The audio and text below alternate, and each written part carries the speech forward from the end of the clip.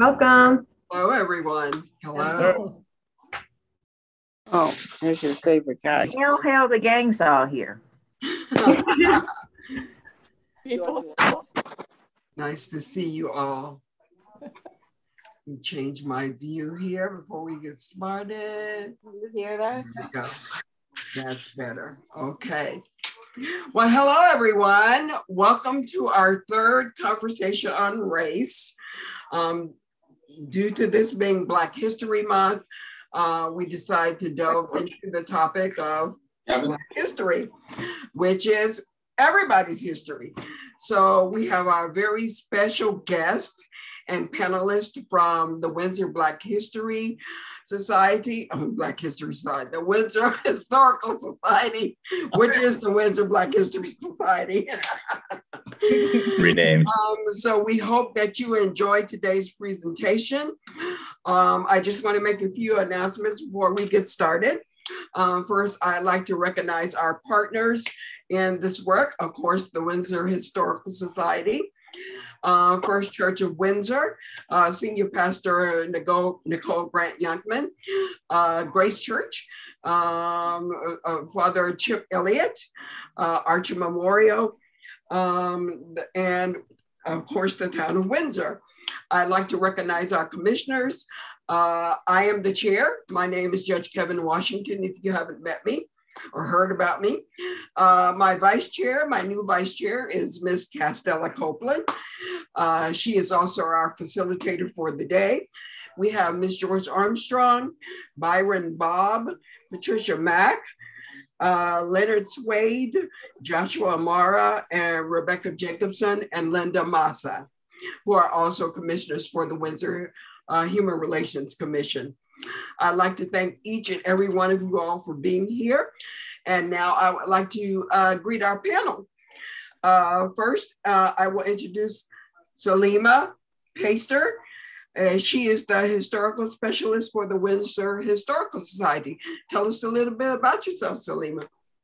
Hi, so yes, my name is Salima DePeister, and I'm the community history specialist at Windsor Historical Society. I actually recently graduated from UConn, and um, upon graduating, I started this position, and I'm doing a lot of research on Windsor's residents and interviewing Windsor residents as well. I've done some oral history interviews one-on-one with Windsor residents, and throughout our centennial, we've done our, you know, Windsor Stories tent, and we've gotten a lot of stories from that. So it's been nice working with the Historical Society. Thank you, Salima. Next is our very special guest, and our other town historian is Miss Marcia Hinckley. Hello, how are you? Um, this is my least favorite thing to do is talk about myself, but I will say that um, I've been so thrilled to be part of this uh, opportunity to share Windsor history. I did my master's thesis on Windsor's African American history 30 years ago. So some of most of what I have to share tonight is from that. But I want to let you know how much good stuff has been done on Connecticut Black history in the past 30 years. So there's a lot to learn, more questions to answer. So I hope this is a teaser that we can all do more to, to research our history. Thank Excellent. you. Thank you, Marcia. Next is Rain Eiffel, uh, Program Director for the Windsor Historical Society. Rain? Hello, everyone. So yes, my name is Rain Eiffel, or Rain Michelle Eiffel, just to confuse you all. And I am the newly appointed Program Director here at the Windsor Historical Society. I'm coming from a museum in Baltimore, Maryland, and my studies go between Baltimore and New York. And what I do here at the Historical Society is pull from all of my amazing colleagues, whether it's Kristen's work or Salima's work or Doug's work or Michelle's work, their research, and take all of what they do and what they found and make it accessible to student audiences and other audiences of the public. Make it engaging and something that's a learning experience, but also memorable. So it's not just, you know, the old school kind of tour guides, but providing you and music and movement into experiences that kind of click with students and make them remember what they've learned about Black history here in Windsor. Thank you so much, Rain, and we're so happy to have you and Salima as a part of that staff. Next, Michelle. Tom is an archivist with the Windsor Historical Society. Michelle? Yes, hi, I'm Michelle Tom. I'm the librarian and archivist at the Windsor Historical Society. Um, I have been mostly, I do a whole lot of genealogy for people, but um, just in working here, I've just had an opportunity to do so much research into the history of the town. And this last year, especially, I've been really digging into uh, the town's Black history, especially um, 17th and 18th century Black history. So, sort of um, building off of Marcia's thesis, but moving into the earlier period that she didn't cover as much. So, that'll be that'll be what I am going to be hopefully off on today. Thank you so much, much, Michelle. Kristen Wands is the curator of the Windsor Historical Society. Hi, Kristen. Hello. Uh, so yeah, I'm the curator. Uh, we like to say that Michelle Tom does 2D artifacts and I do 3D artifacts. So that's what I'm in charge of. Um, I take care of all of the physical collections here, and I'm also in charge of the historic houses and putting together exhibitions. So Rain is pulling together uh, all the great research that our staff does and puts it into public programming, and I pull from all that research and put it into exhibitions here. So I guess my uh, most recent experience with Black history, I'm changing up the exhibition that we have going on in the Chaffee House to focus, uh, do a better job of presenting the history of the enslaved people who were uh, living in that household. Awesome. Thank you, Kristen. We appreciate you. Um, and the big kahuna, Mr. Douglas Shipman, Executive Director. How you doing, sir? Uh, that's the first time I've ever been called the big kahuna of anything. So I'll take that with some humility. Thank you. It's, it's great, great to be part of the program again this year, as we did last year. And uh, I'm the executive director of the Historical Society. I've been here just about two years. I had the good fortune to start just as the pandemic began. So um, it's been an unusual time. Much of what we've been doing here has been virtual, uh, kind of like we are now, but we try to get outside and, and try to do things in person as much as possible. Um, one of the things we have done over the past couple years is refocus, as you can hear, uh, our programming and our research, uh, and also our s- strategy as an organization. So um, we have, uh, with the full endorsement of our board, committed to being the first in our region to center our history and culture on the lives of racially and ethnically diverse members of our community. Uh, that is a big statement for a mostly white organization like this historical society to make. Uh, it's one that we feel like we put our money where our mouth is uh, and are fully committed to living that. So, what you're hearing today, and what you'll hear from a lot of the folks, you know, Marcia Hinckley, who did her fabulous thesis over 30 years ago that the information about uh, Windsor's Black history has always been there, right? Uh, we're not digging up new things that did not exist before. We're finding things that nobody bothered to look for in the past. Nobody bothered to prioritize, and we are prioritizing that history. So uh, that's really critical for us. We, we hope that people in the community find that that is also important to them as well. So we look forward to a good conversation tonight. Thank you so much. And I just want to recognize Ms. Agnes Pierce here. Thank you, Ms. Agnes, for being here. Appreciate it. Mr. Randy McKinney and Ms. Jody Terranova, Mrs. Jody Terranova. Thank you all for being here. And Ms. Florence, I see you. I also want to say that uh, with the work that the Windsor Historical Society has done, um, we we at the Human Relations Commission do did recognize that change and that leadership um, development, and so they are one of the recipients of this year's uh, Bridge Builder Award. The staff, uh, if you remember, Douglas won, I think last year, right, Douglas, or a year before? Yes, I, I, felt like President Obama, who got the Nobel Prize before he even did anything. So, uh, but it was much appreciated uh, by our board, uh, many of whom are here tonight, and our staff and, and it really represented their work uh, more exactly. than mine. Exactly. And we knew you were in trouble when you came. So, you know, we had to give you an award for something. Yeah. so we appreciate the efforts and we recognize you, Windsor Historical Society.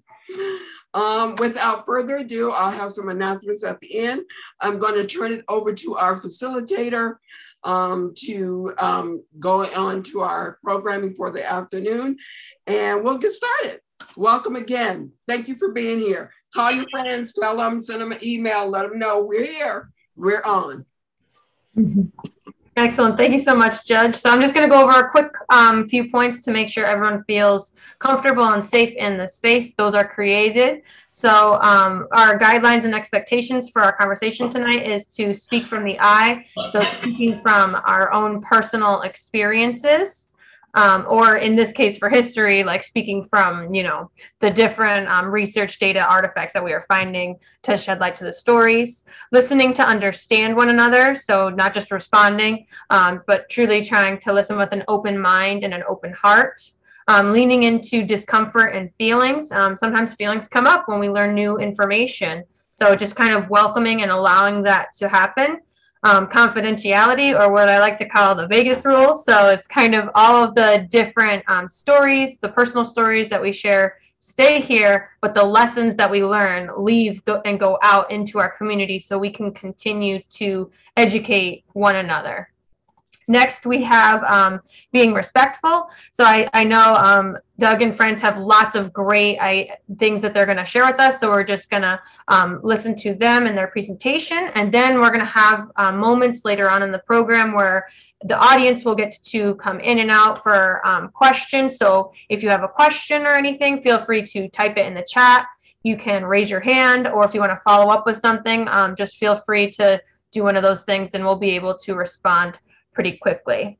Um, and finally, um, participate and converse with each other. We really um, encourage you to challenge yourself and and participate because the more you put into it, the more you will get out of it. So I just hope we'll have a great conversation. And the first step step starts with ourselves. So thank you so much for being here. And then I'm going to turn it over to Doug for all of our amazing content to come. I'm super excited to see what you all have.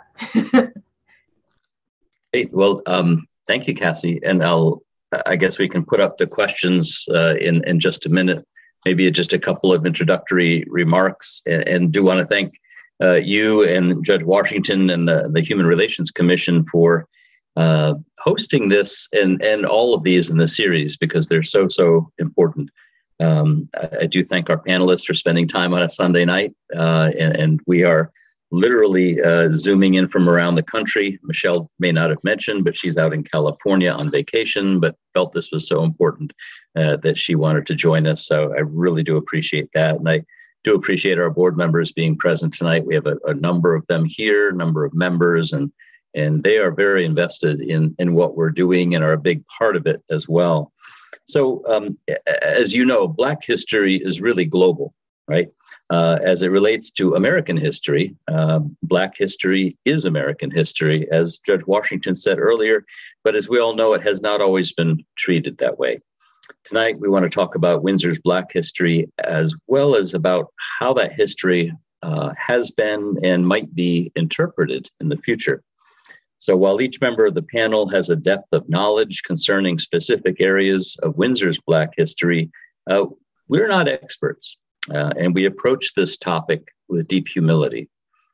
Windsor's Black history began, as far as we know, sometime before 1680, uh, when, uh, quote unquote, Cyrus the Negro, as he was referred to, uh, was listed as property on Hel- Henry Wolcott Jr.'s estate inventory. Uh, you'll hear more about this in a few minutes. Um, there have been Black people, often enslaved early on and later free, in Windsor continuously since those earliest of days, and today 38% of the town's population identify as Black. Tonight, we'll be sharing some specific information about this 350 year span of history and also discussing how the stories of Windsor's Black residents have been told or, or not been told. Uh, we'll talk about who has the authority or agency to tell these stories and how we can move forward to ensure that Windsor's residents of all ages and ethnicities learn this important, fascinating, and uplifting history. Um, tonight, we really have two kind of focus areas or questions. Cassie will put those up in a couple of minutes. The first is like really looking at Windsor's earliest history up through, say, the early 20th century, uh, mid 20th century. And then the second uh, will will focus on more modern uh, history, contemporary history, and then resources, how you can learn more, how you can be a part of that, because we really think everybody has a voice in this story. Um, we have all of our panelists unmuted. So we're really hoping it'll be a little more of a conversation. So it won't be like, okay, panelist A, say your part, panelist B, say your part, and go on down the road. Uh, so people are invited to jump in as they have uh, something to add, something to contribute, uh, or a point to make about someone else's uh, uh, remarks as well. And uh, Cassie will be facilitating. So we're excited to get this started. If you want to put up the first questions, Cassie, then we can give everybody a, a chance to focus. Sure thing. So here are the first two questions here. Um, I will also put them in the chat. Um, these first two questions, I'll read it out loud. Um, the first one is, what do we know about Black people in early Windsor? Who were they and what do we know about their lives?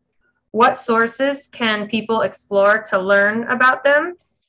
Um, so that's, I know, a loaded first question. Second question is, how did Windsor's Black population change over the centuries leading up to modern times? Where did they live and what kinds of businesses, organizations, or activities did they, ga- did they engage in? Great. Thank you. There's a lot here, right? We we are not planning to provide a lecture, uh, but as I said, more of a discussion and with some illustration as we go along. And um, there's more that we can cover in an hour and a half of, of uh, conversation on a Sunday evening, but hopefully enough to whet people's appetite to to come and learn more. So I'm going to turn it over now to Kristen Wands, who's going to get us started with that earliest of Windsor's Black history. Yeah, this uh, this this question I think comes to me because it feeds right into a lot of the background research we did when we were looking at uh, the Chaffee House reinterpretation. And like Doug mentioned, the first record we have of a Black person living in Windsor is this 1680 mention of a man named Cyrus. You can see the, a copy of that uh, 1680 record here. He was listed in Henry Wolcott Jr.'s estate inventory, um, valued at 30 pounds at the time. Uh, like all of the earliest Black residents of Windsor that we know about, he was enslaved. And he appears to have been the only enslaved person in Wolcott's household at the time. Um, so, like most other New England slaves, he probably lived inside the Wolcott family home and he worked closely with the family. He wasn't equal to them, but he spent his life alongside them. Uh, it's also a pretty typical record of the earliest Black residents of Windsor because this is everything we know about him. We don't know where he came from, we don't know when he came to Windsor uh, we don't know really what happened to him after this. So um, there are more questions than answers, I think, with a lot of this very early Black history in Windsor. We do know that slave ownership was extremely common among uh, Connecticut's elite white residents. By 1774, according to slavenorth.com, Connecticut had the largest number of enslaved people in New England, which was 6,464 enslaved people. Uh, census data shows us that half of all of Connecticut's ministers and lawyers own slaves, and a third of all the doctors in our state. At that point, in around the, the last quarter of the 1700s, um, we start to see laws passed that uh, promote um, gradual abolition and um, prohibit the importation and purchase of new slaves. So we start to see the numbers of enslaved people decrease through the end of the 18th century and the number of free Blacks increase at the end of the 18th century. But we also know that Windsor was home to free Blacks probably very early in our history. Uh, we know that there was a law passed in 1702 which required slave owners to care for enslaved people who were infirm or destitute rather than releasing them into the community to be free.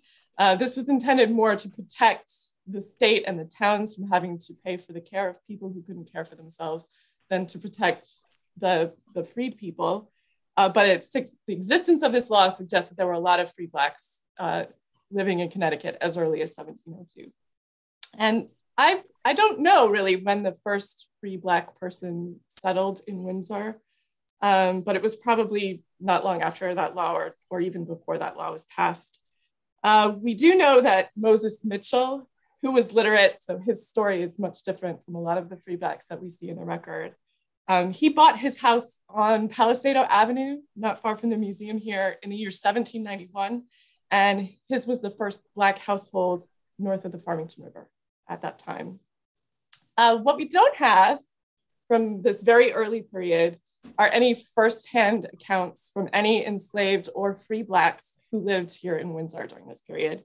Um, so that's sort of a disappointment to me because when we do history, we really like to get it straight from the source whenever we can. And we can't do that in this case because we, we haven't found any first person record. So um, in that case, often what we do is we look at uh, first person resources from other parts of New England. Uh, for example, this book, Complicity, written by Anne Farrow and some colleagues from uh, the Hartford Courant, goes into great detail about the story of Venture Smith, who was enslaved in um, coastal area of Connecticut. And we also look at Black Yankees, which is a great look at the experiences of uh, Blacks, both enslaved and free, living in this region. Um, in addition to looking at some more local sources, uh, like um, Jabez Hayden, we look at a lot, and also Henry Stiles does a certain amount about Black history in Windsor. Plus, we love Marcia Hinckley's thesis, which you can read on our website uh, if you want to. And these uh, other secondary sources, we have quite a lot of these books available conveniently in the Historical Society's gift shop. I know we have both of these that I'm holding right now and a lot of others. But um, my favorite thing to look at, and I think everybody on staff, we really like to look at the primary source documents. Really good out here. Yeah. So Michelle, Tom has been looking at a lot of those. You want to talk about those first person resources, those primary sources?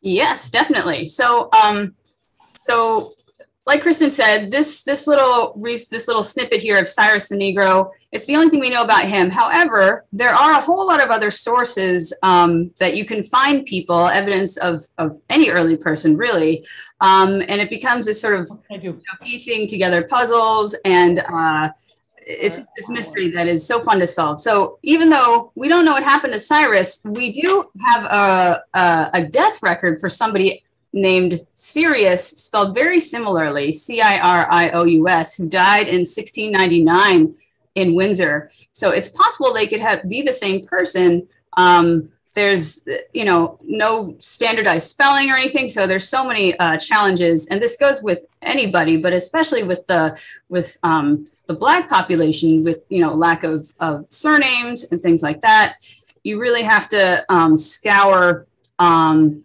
beyond the usual records that you would that you would look at for any uh, anybody doing early history or genealogy. And and honestly there's not there's not you know first person accounts from this era are pretty rare for any person. So um, everybody's always wanted to know like why did my ancestor you know move to windsor? And nobody's i haven't found a diary that's like dear diary this is why i moved to windsor today. That would be great. Um, uh, but it does make the it does make the challenge it doesn't make it a fun challenge and that's what i love. Um, so other kinds of records that we can look at um, besides your usual birth marriage death records um, church records people uh, we've we've referred oh this is a will. So um, we have another uh, another image doug if you want to move to the um, the next. So this is this is another will of somebody uh, who lived in windsor a little bit later um, Israel Stoughton, and this is in our this is in our collection. We have a, a collection of documents that are old that we call the old documents collection. It's my favorite thing ever. Um, it's just all these random documents. They are not connected to each other, but they're so there's just like gold in here. So um, this says, you know, I give uh, my daughters my Negro man Caesar, um, and uh, you can see it's from 1735. Um, so here again, it's the only time we know about this Caesar. I've tried to follow the daughters and see if they have any any wills mentioning him, but it's it's hard to find. Uh, you know, there's there's not always a record, and even if there is a record, we don't always have it.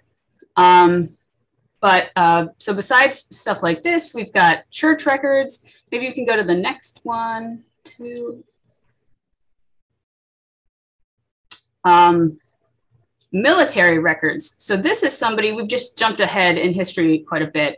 Um, this is uh, an enlistment record, sort of written after the fact, for uh, a free black man named Samson Cuff, uh, who enlisted from Windsor. And um, this is sort of uh, showing that, yes, indeed, he served his his uh, his his time in the military, and uh, you can see it's from Windsor, and you've got all these Windsor names that everybody who is driven down the street can recognize: Phelps, Filley, Ellsworth. Um, so this is this is pretty phenomenal um, that we have this. There were there were a, a handful, maybe like ten black uh, Revolutionary War veterans who either enlisted from or moved to Windsor after the war.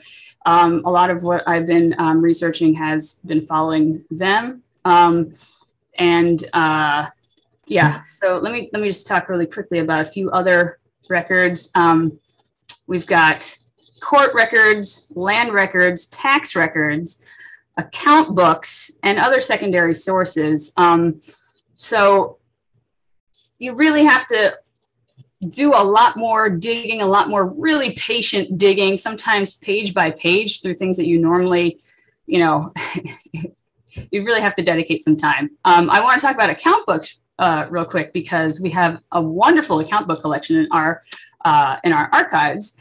Um, and I have this, um, we found this amazing record from one of them uh, just recently. So if you go to the next one, so this is an account book for uh, a man named Levi Hayden, who you may guess uh, was from the Hayden Station area of town.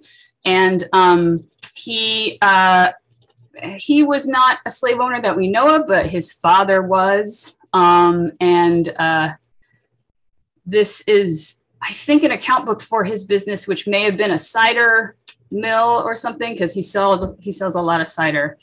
And I like that you see he's he's sold shad too. But you can see in this book, which has um, listings of different people that he's done business with, it's actually segregated inside the book. So he's got business with a lot of um, the black residents of town. They're all in the back of the book.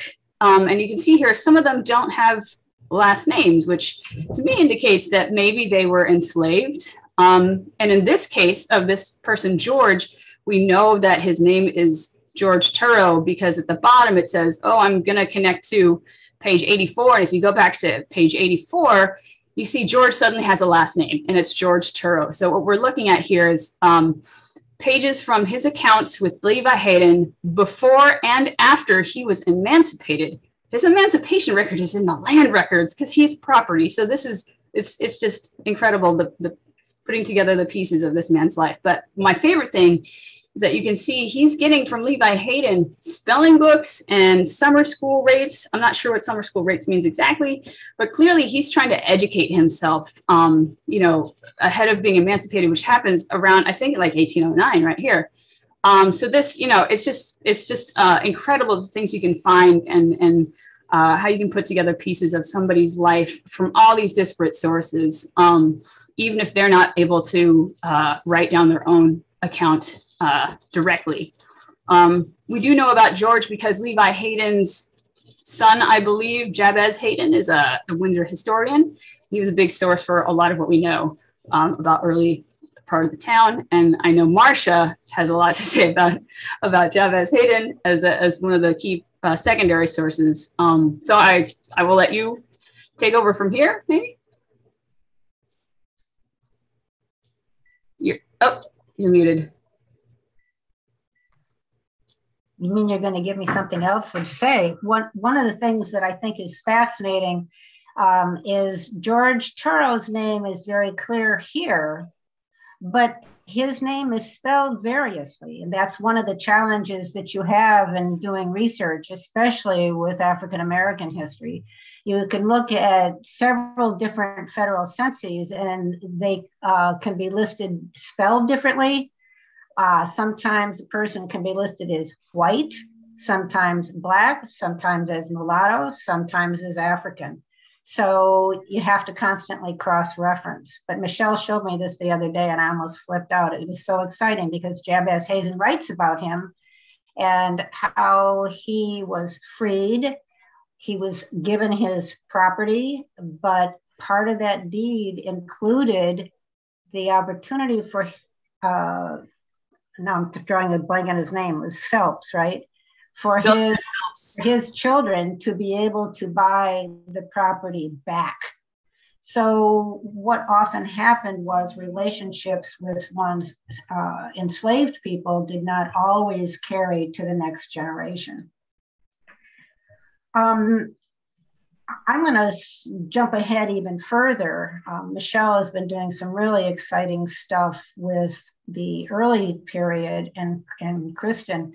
Um, but there, there was movement among people of color uh, during the early But um, I'm going to jump ahead to the Civil War period when there was a significant change. Remember that Windsor's population was very small until it started to grow a lot in the 30s um, and then again in the 50s and 60s. But Windsor's Black population really never got over um, just under 5% until the 50s and 60s, 1950s and 60s. So we're talking about a small percentage of people. But during and after the Civil War, Windsor's population of African Americans jumped by about 61%.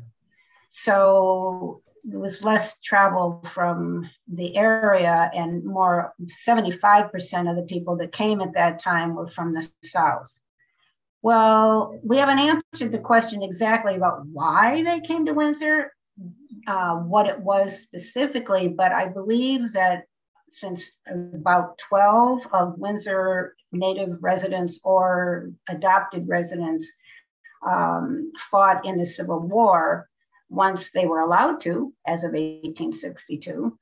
Um, I think they made connections there and came north. Why? Again, Windsor, probably because of the agriculture, because tobacco was, we hadn't had shade tobacco yet, but we had uh, um, uh, broadleaf, and I forget what the other kind is. But so they would come for agriculture. We had vegetable gardens, and there were also brickyards. So after the Civil War, um, there were a couple of people I could get into names, but I guess I should try to keep brief. So I won't. But people that worked together during the 31st Black Regiment was actually called the Colored Regiment. Um, came here. One was from Maryland and one was from um, New York, but they clearly had made some connection.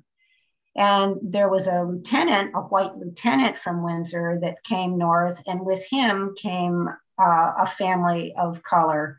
And they became um, very well known in the community, the Scott family, and are related to a number of Windsor families through marriage and so forth. So I think that that uh, Windsor's population grew because of the opportunity for work, um, and I don't know why else because uh, Joseph Rainey came in 1874. Joseph Rainey was the first African American elected to the uh, House of Representatives of Congress. And he bought a home on Palisado Avenue in 1874 he also brought people north with him, some of the prominent uh, Black families. Why he came was probably to escape some of the threats that he had because he was definitely uh, in favor of the 14th Amendment. He was part of the Ku Klux Klan Act. Um, he was for school integration and so forth and he brought his family probably for safety. I don't think they ever went back south. He died in the south, but I don't think his family did. They ended up moving to Springfield at one point. But anyway, what was it about Windsor that made it a safe place? I don't know. But they came.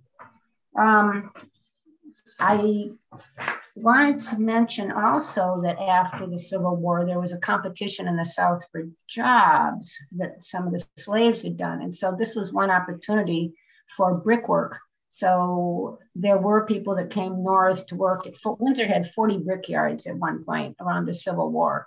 And uh, later it was primarily the Mack Brick, and then there were brickyards down in Wilson. But that was one opportunity for people to come here from the South with the trade that they'd already developed and um, work here. I'll tell you that, and then I'll shut up for a few minutes. Maybe there'll be questions and I can go on to the beginning of the 20th century. But um, I was, when I was first doing my research, I asked Bill Best, who is Windsor's first Black policeman, what jobs they had. And he told me years later that he was really angry with me for asking that question because he said, You know what jobs they had. They basically could have jobs in agriculture and they could have jobs as domestics. So the, the women were primarily at various times were live-in um, service. Sometimes they had their own homes. A lot of the African Americans had their own homes. We don't know much about them, but they did. Um, but that was that was the opportunity at that time, and it didn't change much until you get past the 1940s and 50s. So um, let me stop here for a minute and I can talk a little bit about the 20th century when there was another population change, but, but maybe this is enough for the moment. I thought maybe this would be a chance also, Marcia, to talk a little bit, um, not necessarily you, but to open it up and maybe uh, give um, Rain a chance to talk a little bit too about kind of interpreting this history. And, and one of the things we've done uh, at the Historical Society was taken the Chaffee House, and I mention it now because it's really always been interpreted as a, a home of the late 18th and early 19th century residents. Um, and as uh, Kristen mentioned, trying to reinterpret that house uh, to share the lives of, and in fact, actually prioritize the interpretation of the lives of the enslaved people that lived in that house with the very wealthy Chaffee family. And also, we've turned half of that building into an exhibit space, uh, or a good portion of it, uh, and and tried to show, showcase more contemporary topics in uh, Black history. And currently have uh, Fiona Vernal's exhibit on the West Indian diaspora uh, called "A Home Away from Home" in that in that space. And I think Rain, you were going to talk a little bit about working with school children in that space and some of the things that they brought to uh, that they took away from what they learned.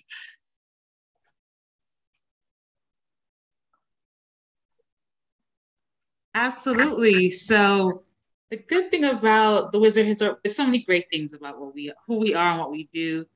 This Bond Together exhibition is what brought me to the Windsor Historical Society.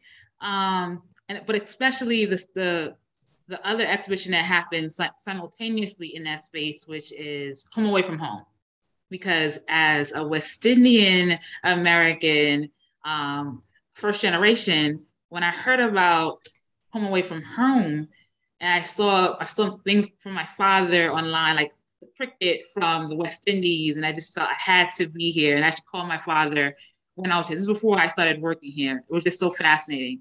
But what Doug is referencing is something that I think he's under the impression. So it does happen inside the house. You have this group of children on a field trip.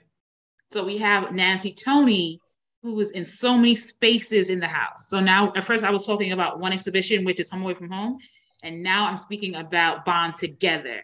And so here you see in this slideshow a group of children from a school visiting from South Windsor Middle School. So they're in fourth grade.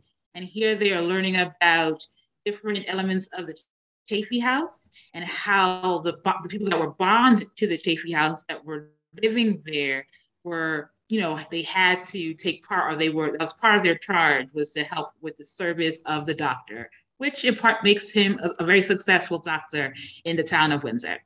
So that's the, a piece this picture shows them doing that. What you don't see in the next image is them learning about nancy toney. Her image appears on the wall in the chaffee house and her name is brought about through just about all of the different five spaces throughout the Windsor Windsor um, field trip. So we have this complex. So first we have her. One of the images of Nancy Toney is in the um in the house, but that same group of students then hear her name over and over and over again. And finally, they go to the church and learn her name one more time. And then they take a tour outside of the church to the cemetery where they find her tombstone. And so again, we get a chance to speak about enslavement here in Windsor's historical his history, and we learn we learn about the challenges that were faced and the amount of grit that was held within this woman. And one of the one of the students said to me, um, I said, so what do you guys think about that? He said, well, because she was a part of the lower caste. That's why she was treated badly. And I'm sorry, I get chills whenever I get uh, such a, a thoughtful, it's like a personal response. This person, this child knows is identifying something he's bringing to from his own experience, what he knows about this dichotomy, the treatment of people. And he's, he, he identifies her as being from a lower caste. And so I found that to be very, interesting that uh, students were able to bring themselves to the space to what they were hearing, a name that they were hearing throughout about every site on the tour. And then I was surprised, but I shouldn't have been surprised that once they were leaving the cemetery, you have this group of students just singing, We love you, Nancy Toney. Thank you, Nancy Toney. Goodbye, Nancy Toney. So it's like an impromptu parade. I couldn't have planned a better field trip and a field trip experience. They were doing that themselves, and I just I I get again I get chills just thinking about how how much they must have felt, how much they must have learned about this woman who really is a big part or represents a big part of American history in general and specifically Windsor history to be specific. So that was a very very incredible moment for me. That's why I do what I do. And so, yeah, that's the story of Nancy Toney and this group of students. Great. Thank you so much. And uh, I wasn't sure, Marcia, where you wanted to pick back up or if we wanted to call, uh, pause. Um, uh, Cassie, for any audience questions and, and, and participant questions or, or comments at this point as well. Yeah, sure thing. I see, Judge, you put in the chat. It says that's a uh, that's quite a remarkable age for an enslaved person to live, isn't it?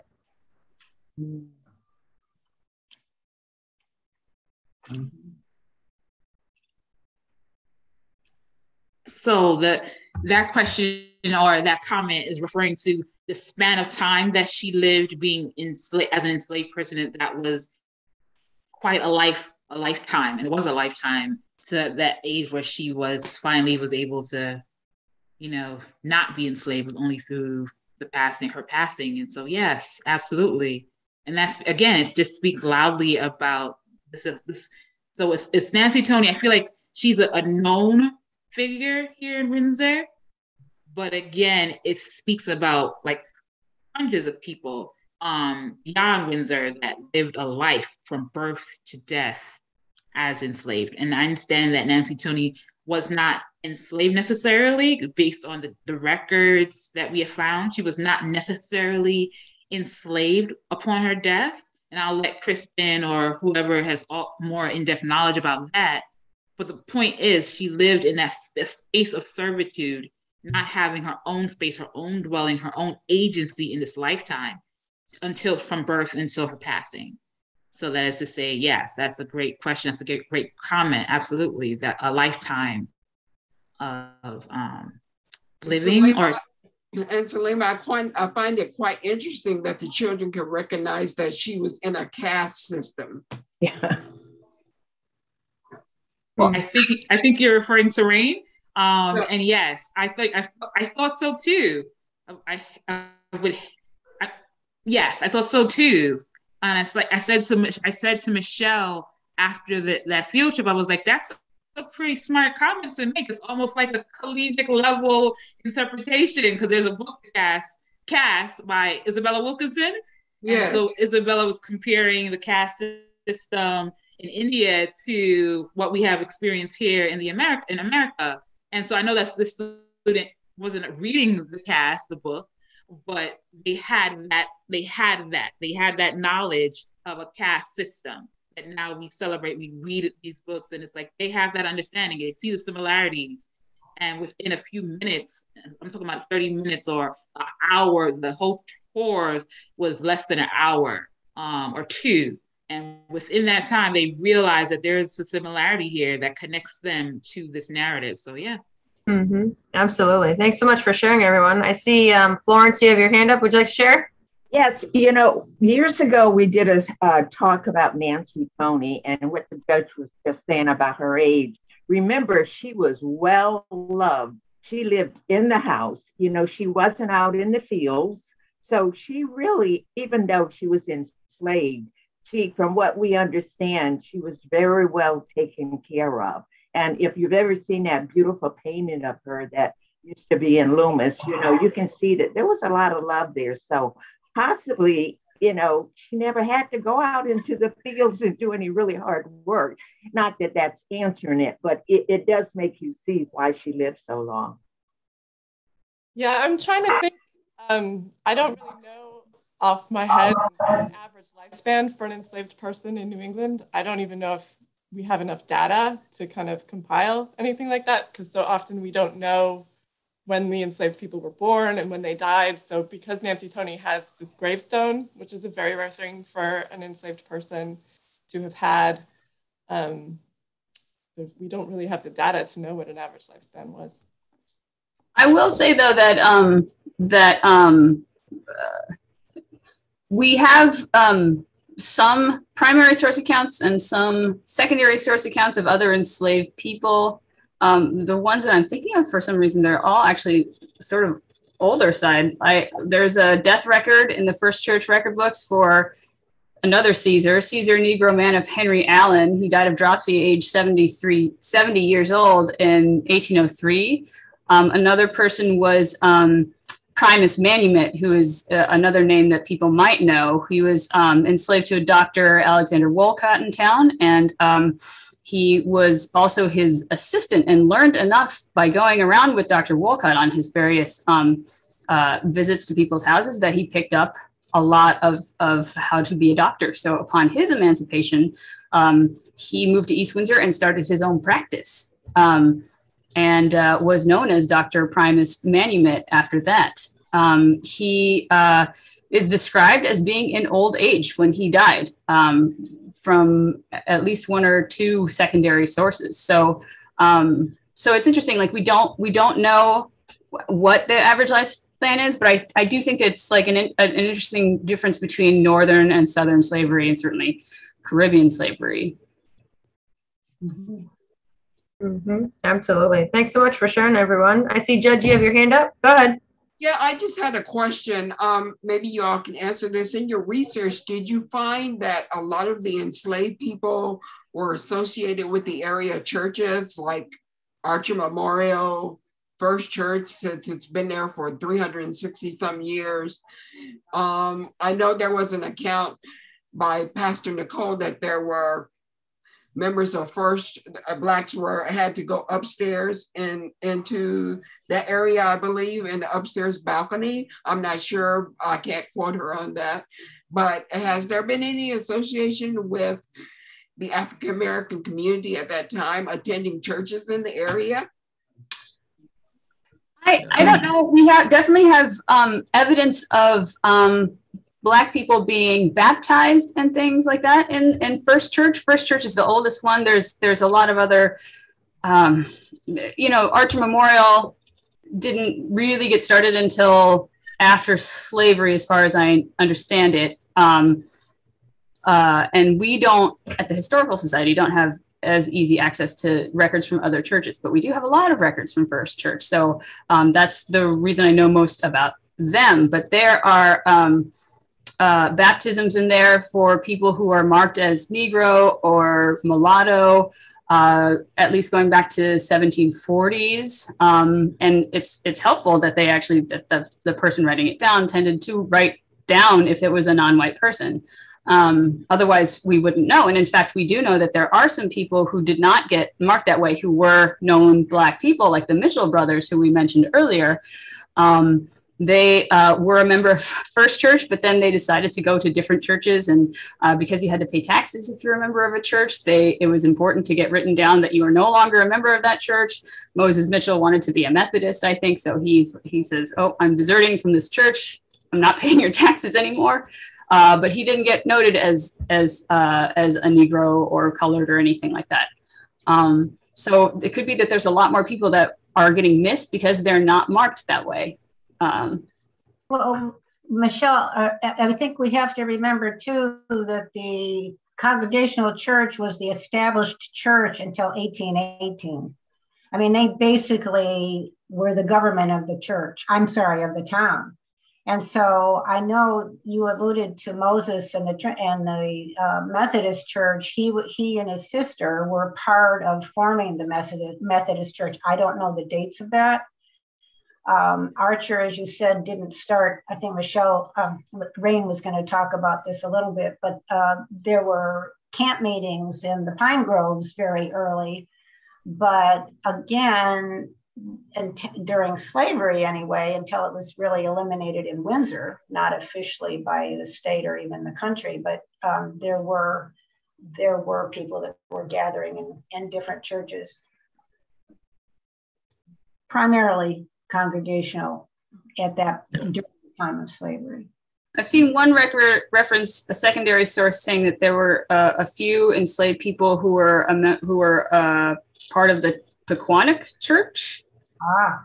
Um, uh, yeah. And some of them are noted as being enslaved, and some of them just have names that indicate that they probably were enslaved, like Thomas Negro or Cato Rogers. Um, so that's the only that's only a secondary source, but that's the only indication I've seen of any non-First Church sources. But again, we don't have all the records from all the churches. Marcia mentioned uh, Mr. Rainey, and we know that Mrs. Rainey attended First Church at least for a while in the 1880s because in our collection here we have a quilt, and each quilt square was signed by the ladies of the church. Each lady signed a quilt square and then gave it as a gift to uh, the minister's wife. And um, Mrs. Rainey signed one of the squares. And I also want to say, even though we have all these baptismal records, it doesn't necessarily mean that they were I mean, they weren't members of the church. It was it was a, a different thing to become a member of the church, uh, where you had to. I think you had to pay money and do profess your. I'm not really sure, but it it is a very big difference between um, being a member and just getting baptized uh, as part of the church too. This might be a good time to go ahead and start moving into the uh, uh, 19th and, and 20th centuries and and uh, Marcia, did you want to kind of pick up with that thread and, and carry us forward? Sure. I, um, I wonder if Rain wants to say anything about Archer. Uh, it, it, uh, it, I can't remember exact date that it got formed. It was 1897, I think it was. But um, the trolley, which I'd forgotten to mention before, was was uh, made in what do we call it? It's 1895, and that created a big shift so that people were able to come to this area from Springfield because the trolley went from Hartford up to Springfield. And so that was one of the reasons that I think Archer formed where it did, is because the population that was in Hayden Station. Um, the populations of, of African Americans were really from, from the beginning were sprinkled around town.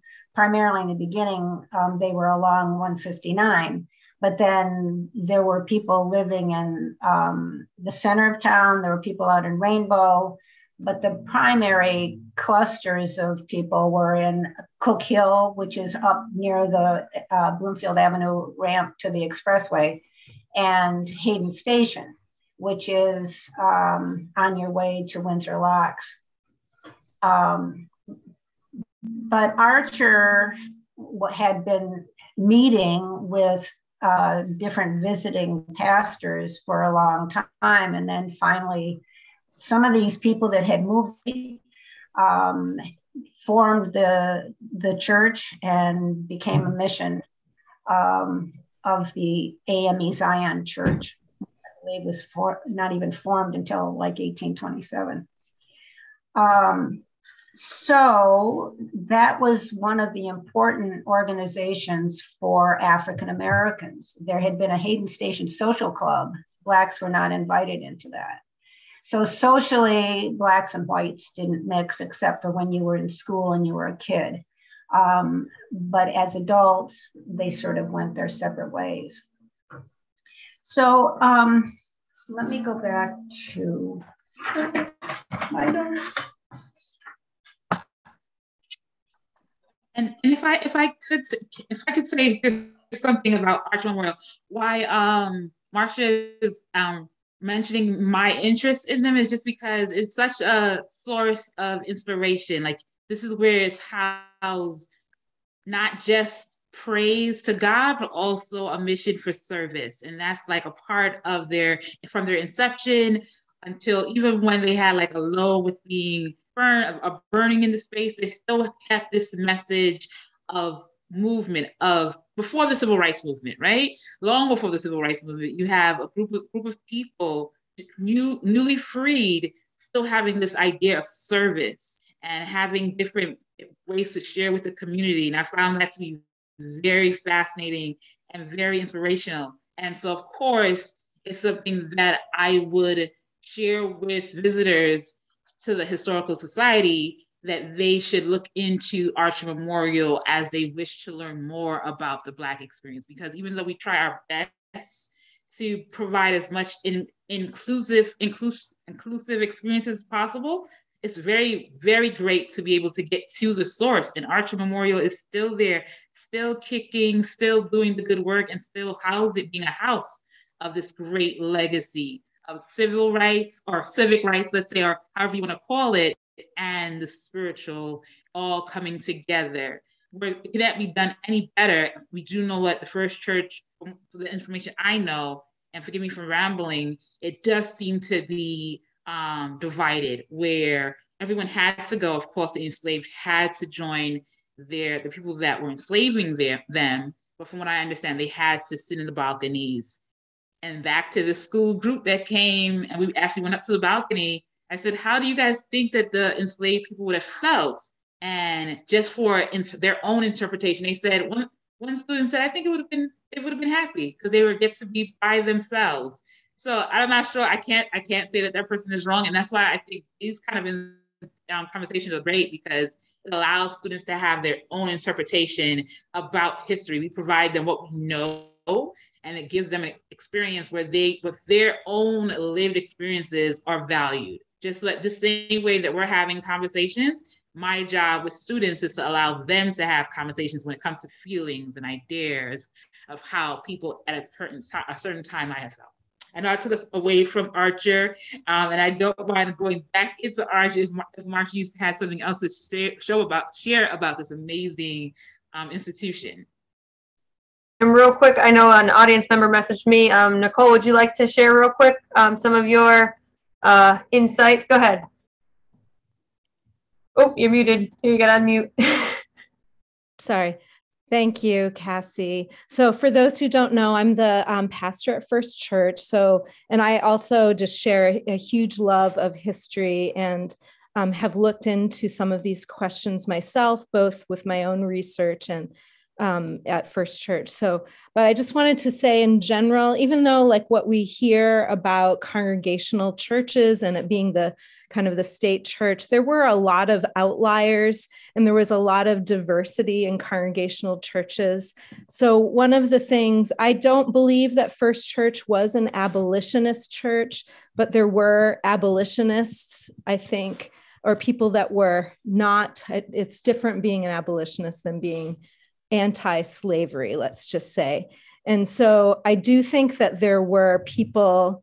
Um, so, one of the things when you see a Black or mulatto person in the church records as a member, um, it's kind of a, um, I don't know, it's kind of a radical thing at that time for a for um, people of color to be seen as full members of the church and to be be permitted to marry and to have um, because if you are a full member that means that you are part of believed to be elect of god And so we did have that at First Church. I'm not saying it was the the best, uh, you know, they were progressive by any means, but um, I do think theologically at the time that that was a very big deal. Um, and so that means that, you know, before that marriages were recognized, um, full membership, you could um, serve. Um, but I think the fact that some first Black First Church members ended up joining and being part of the Archer AME founding did show that um, that their gifts were not fully utilized or celebrated because um, the AME Zion denomination as a whole was founded for, by Black members whose gifts were not allowed to be used fully in white churches. And so I think it's really, I think we can assume that that was the case.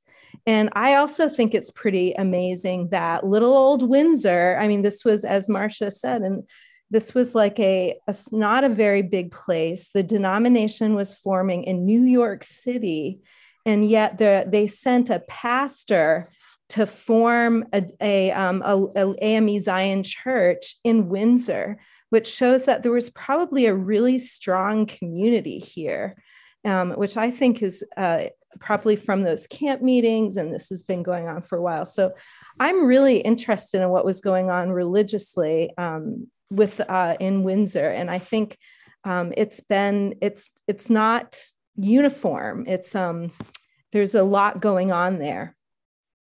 I'm really glad you mentioned that because let me jump in again because one of the things that um, I learned from Bill Best too was there were a lot of people, Nicole, that did not leave the congregational church. They may have supported the Archer Church, but they didn't want to leave. The church had been good to them. And I think it, in some ways, it typifies some of the relationship that there. Real, my sense was that there was real, in general. This is probably not true everywhere, but in general, there were close relationships between the African Americans and the whites. They were never socially equal, but there were close relationships. The Congregational Church, when the Archer Church burned down, um, I don't remember the date of that, but it was early on. Um, Bill was alive, so it was after 1924. But um, the Congregational Church loaned them the building that they have up on Hayden Station Road, which I think is still there. And they also helped them financially build the church that they built to replace it. So they also picked up the kids to take them to the church. So they would go up to Hayden Station, pick up the kids, and take them down to church. So there was a very supportive relationship. And um, Bill's family never left the, the congregational church, although, again, it, it, they were not, I don't believe, considered equals, but it's that's that's really an important connection and a support of, of another denomination. So it's great. Yeah. Just want to very quickly mention, uh, you know, we're fortunate in Windsor to have a very active Freedom Trail organization and a number of important uh, sites and houses uh, to kind of echo what Rain and Marcia have been talking about and and the earlier comments about Joseph Rainey. Uh, those are all sites on the Freedom Trail and places where people can not necessarily go in to everyone, but can learn more about it. So I'm going to ask maybe we can start to move forward into the 19th. And, and Marcia, I think you're going to carry us into the 20th century. So it's a heavy burden, uh, 100 years of history in about five minutes, but uh, I'm sure that if anybody can do it, you can. So you can help us move. I don't know about that, but I will jump ahead and um, there are a couple things that I it, it's hard to hard to be brief because there are so many good things. And Michelle has had these wonderful pictures of of uh, classes, um, and I think you'll notice that if you look closely enough, that they are integrated with the one or two African American children who are present. But there was a state law in 1868 that they needed to be integrated. Um, going to quick and just mention that these are colorized. I did this with computer magic. They weren't actually in color. They're black and white pictures that I colorized. Just want to throw that in there. And there's be some other ones that are colorized later in the slideshow too. or whatever. One of Little Billy Best that's not in this one, though. It's one of my favorites. But um, the white population changed dramatically after 1900 too. There were Eastern Europeans that came, that, and then um, then there was the suburbanization movement, and this was really participated in by both black and white. So, um, with the trolley, again, people could move to Windsor, find a place to live, and still work in Hartford. There was a close connection with Hartford, and in terms of churches as well. So, um, the Lees, for example, Audrey Lee, Audrey was a man. Um, he laughs at how he had to deal with that name. But um, his family came north from Georgia, basically part of the beginning of the Great Migration of, of African Americans to the north. And then they went first to Hartford, then came into Windsor because his, his father said, You can't raise kids in the city. And Audrey would go on to say, And he was right. so, but he said, You have to remember that when he came here in the early 20s, um, Windsor was very rural and the schools were not as good as the ones in Hartford, but they could own property. And so that was one of the reasons they came um, the Joneses came as well. The Joneses came up to Cook. Audrey moved to Wilson, the Wilson area. And um, the Joneses moved up to the Cook Hill Road area. And I don't know whether Florence remembers them, but I think she does. The Joneses, I believe, had a huge, uh, whatever you call it, um, in their gardens. The bushes had the name Jones made into the, the shape of the gardens. But they came also because they're they're um, they wanted to own property, and they also became very engaged with the community. So Audrey was on the Democratic Town Committee. He was uh, chair of the commission that put the Decker Brook uh, and encased the Decker Brook. Um, and uh, Narcia Jones, who was the daughter of a slave in, in an enslaved person in North Carolina, was very active. She convinced the Board of Education that they should have school buses for the kids that um, she uh, taught people how to can during World War II so that they could um, save money and, and have their food. She collected uh, war bonds and so forth. And she was, I don't know if you have the slide of her, but she was recognized for all the work that she did on the cover of Homestead magazine. And the family was very um, uh, supportive of the whole community. This is another thing that shows how they supported each other within the constrictions of the white community. The jobs were not equal, but they wanted them to excel and feel proud of themselves and retain their dignity. So um, they had kids come over. The Joneses had kids come over and play ping pong. They had ping pong tournaments. They played baseball around the community. Um, they, um, let's see, they um, had lawn parties and so they, they made a lot of fun for themselves even though things were not equal. Um, the elder jones boy left the area went down to washington d.c in order to get a, a non-demeaning job. And dr winston who um, you may have read about it in the uh, historical society newsletter she earlier than that had gone down to Washington, D.C. to, to be able to find work.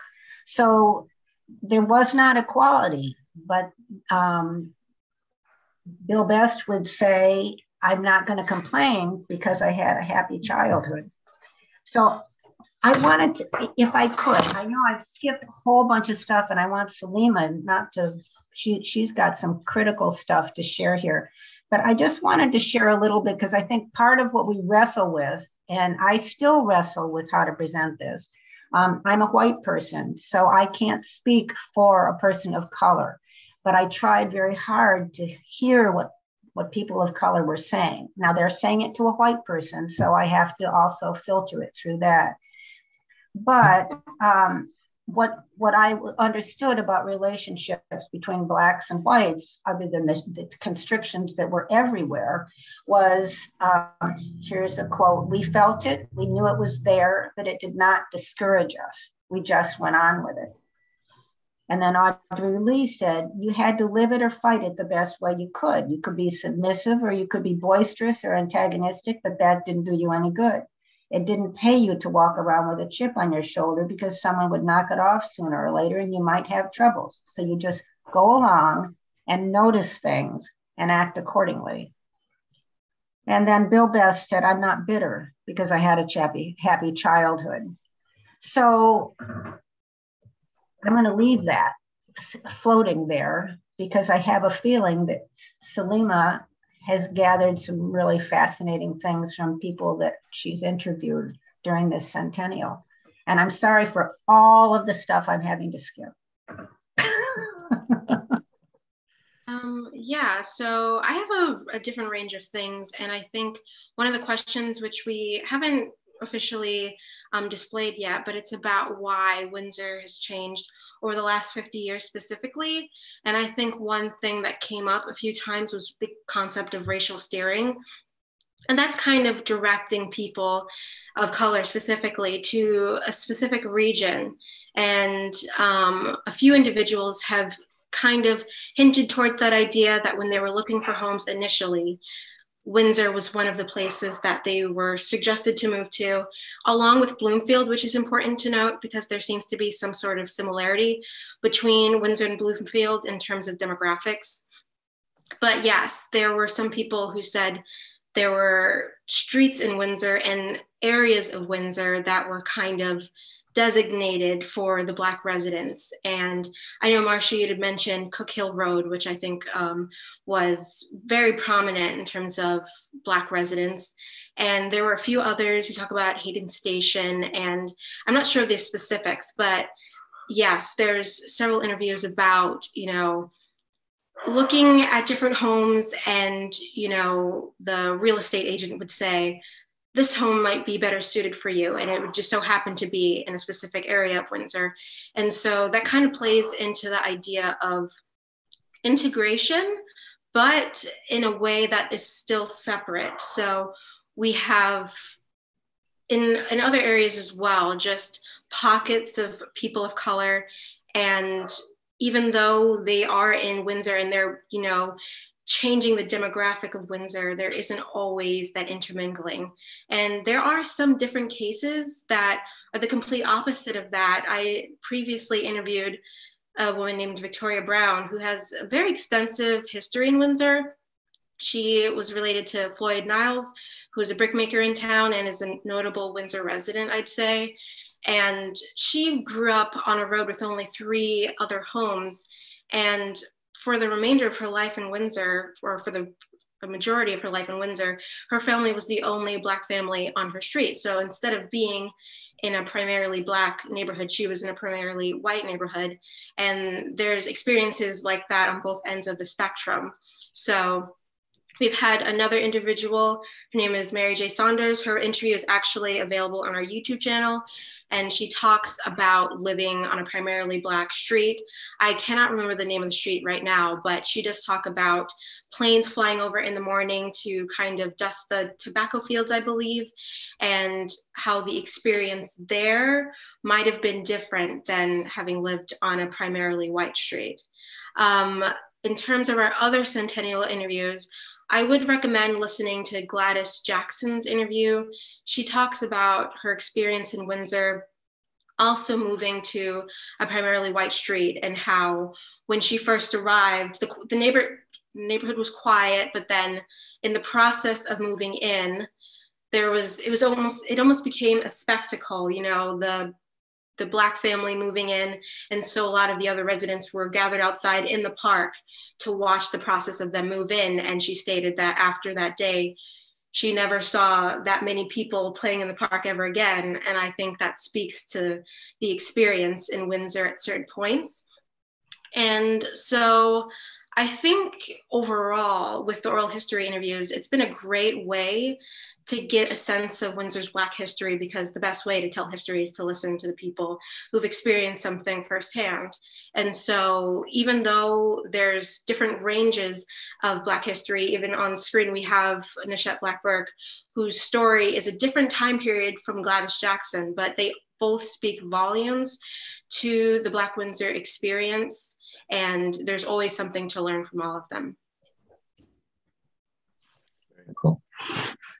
And the what's on the screen is just a snapshot from our website. Salima's been transcribing these various interviews and, and putting them all up on YouTube so people can actually listen to the firsthand accounts that she's referenced. And we have 56 interviews from our centennial alone, plus a, a, number of others that some have been done in the past and others uh, Salima's working on now. So uh, we've got quite a bit of history uh, in audio format that people can can listen from. And the judge looks like you, uh, you have a question or a comment. Well, yes, a comment. Um, I just wanted to say my experience when I first moved to Windsor, uh, I think it was 2013 or 14. 14. Um, I moved into a house in on Palisado, 736 Palisado and it was the home of Dr. Clotilde Brayfield. And she was very much a civil rights advocate. And I think that spurred me into becoming a part of the Human Relations Commission um, and social justice and racial justice. And living in that house, I had the I have the farmers' books of the people that lived there before, and I got to meet her children who were at that time, she was a teacher in Bloomfield. And she moved her family to Windsor in order for them to have equal rights and you know not not be in such a segregated community because her children were half black and half white um, and i'm just i was just very moved and i think that moved me to be a part of this community more so because I lived in that huge house, which was about 3,500 square feet, which is why I moved away from it too, because um, the oil bill was killing me. But, uh, you know, that house has a lot of history in it. And I still have the farmer's books from when he used to sell meat and the farm, the, the area behind that, that house used to be a sod farm before you get to the Connecticut River. And I just, I passed by that house now, and the house is listed in on Wikipedia um, uh, as places, historical places in the United States. And if you Google the house 736 Palisado, you'll see my name reference in there with other people that have lived there. I love that house, and I think it's the reason why I can't leave Windsor but I thank you for letting me say that.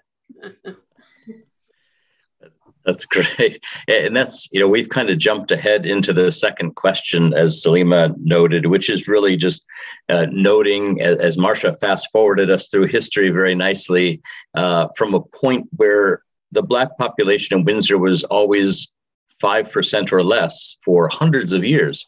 Uh, and then the transformation in the late 20th century to a point where today uh, about 38% of Windsor's population identify as Black. Uh, it is also a population now that includes a large number of Latinx and Asian and, and other ethnicities. Uh, and the white population that used to be 95% is now 48% uh, or fewer uh, of the population. So it's a, a demographically very diverse uh, community. But um, one of one of the oral histories I got to do, not to take any of, of Salima's thunder, but uh, was with Tim Curtis, uh, former deputy mayor, who, uh, in his closing remarks to his interview, said, "You know, Doug, Windsor's a wonderful community. It's very diverse, um, but it is not yet an inclusive community." Uh, and I think some of what Salima is pointing out is, is, that you know those issues still persist uh, today, and often as a white person, you're oblivious to that, right? That's what we call white privilege. We don't experience that Uh, but it, through history and understanding uh, and listening to people, we can understand better even our own time as well and people that are living now. So it's uh, an important way for us to get at that, I think, through historical work. So I'd, I'd like to um, open it up too for other people that have uh, things. I know our our uh, both our historical society staff and Marcia had a lot of things to say. We knew we had more things to say than we had time for. Uh, but if there are things that we kind of glossed over that people wanted to bring back out, this would be a great time to do that. Uh, or members of, of the, the audience that had things they wanted to share as well, because some of you have shared things with us uh, in recent past uh, that I know are also very relevant.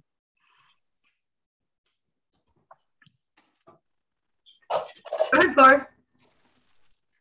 Great. First of all, I would like to say thank you all so very, very much. This is so exciting. And, you know, we have, I think Doug's head is going to probably blow off soon because he has really, in just the two years, opened so many doors. I was part of the Windsor Afro American Civic Association, and that was basically started by Willie Graham, who worked for Senator Dodd, but it was to get uh, scholarships for kids at the high school because there were no scholarships for Black kids. So that's how it all started. But because we wanted to get more involved and be uh, non a nonprofit sort of thing, you know, and not be so political. That's why it became an organization that mm-hmm. anyone could join. We did have white members, but it was a time when it was like we were starting, you know, and now when I think what's going on now with Salima and, and Michelle and everyone at, at the uh, Historical Society, we could set the world on fire. So I think we still have a chance. It's just getting all those people out there involved. And I think it's a good start what the Historical Society is doing now. And Cassie, I just love having you around all the time. Remember you as a little girl running around, you know, but it's just this is what we need is for people to know that um, there's a pop, there is a chance and unfortunately i even talk to a lot of my white friends and or i talk to everybody but people always feel as though they need to apologize. Well Marcia, you don't have to apologize. You didn't do anything wrong. And i feel this way. Whatever happened we talked about this in church this morning with uh, harriet tubman. And because she couldn't read or write you know she has uh, problems her entire life but she got so many people out of slavery, but she had someone read to her every day out of the Bible and she learned, learned, learned to quote. So I said, you know, we go all the way back to the beginning when they came here, you know, as Christians to save the world.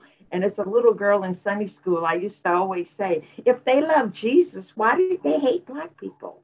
So I think we're still learning, you know, and we're going back a long time. So everybody should just be so proud of themselves, everyone who's involved in this, because every day you're opening more doors and more people are learning.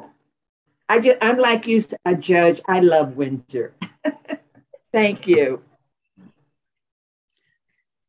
Florence, thanks so much. You know, one of the things we really we we start with the story of slavery because it is where often the Black story begins in North America. But we really feel it's important at the Historical Society to get to uh, what else was happening in the lives of Black people here in Windsor, uh, both the free Blacks at the time of slavery's uh, existence and, and since then. And you mentioned the, the Windsor Afro American Civic Association, WACA. And thanks to Florence, we're, we're getting into, and it's a very uh, contemporary topic, uh, getting into that through oral histories.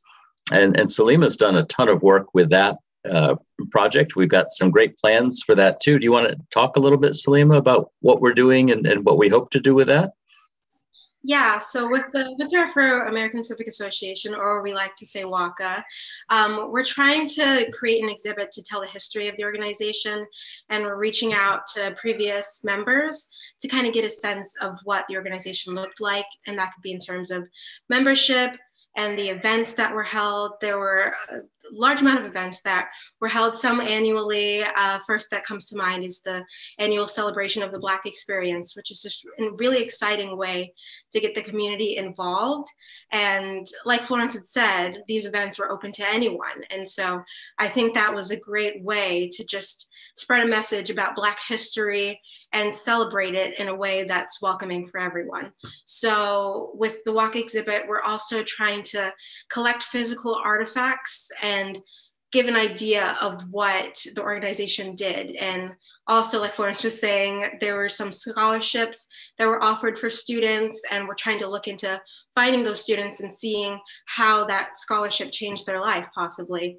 And even the people who were sponsored by WACA for the Shad Derby pageant, I think those people also would have a lot to say about what WACA offered them.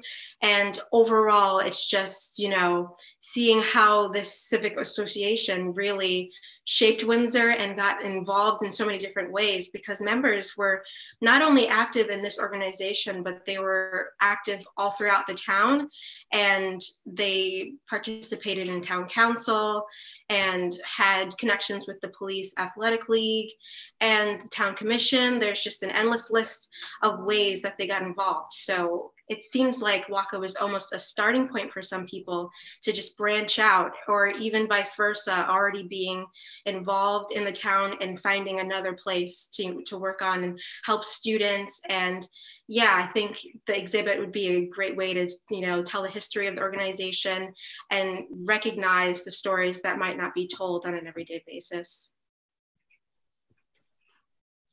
And our, our goal is to open the WACA exhibit. So we've got a lot of work to do uh, between now and December. But December in the Chaffee House, we hope to have that there for, for people to come see. And um, one of the other things we wanted to talk about in this segment, and, and I'm going to go ahead and start that and, and hope that others will feel free to jump in, was our um, uh, kind of how you can learn about Windsor's Black history on an ongoing basis. We we talked about the Freedom Trail already uh, as a great source, and some of the things that we've developed. And, and again, you know, uh, Florence, you're very kind, but uh, this this is everybody on our staff and many people in the community have contributed to this. And uh, the foundation of our new Black History webpage really is uh, Marcia Hinckley's thesis which she kindly allowed us to scan in for the first time in 30 years. We have a digital copy, people can go and read it.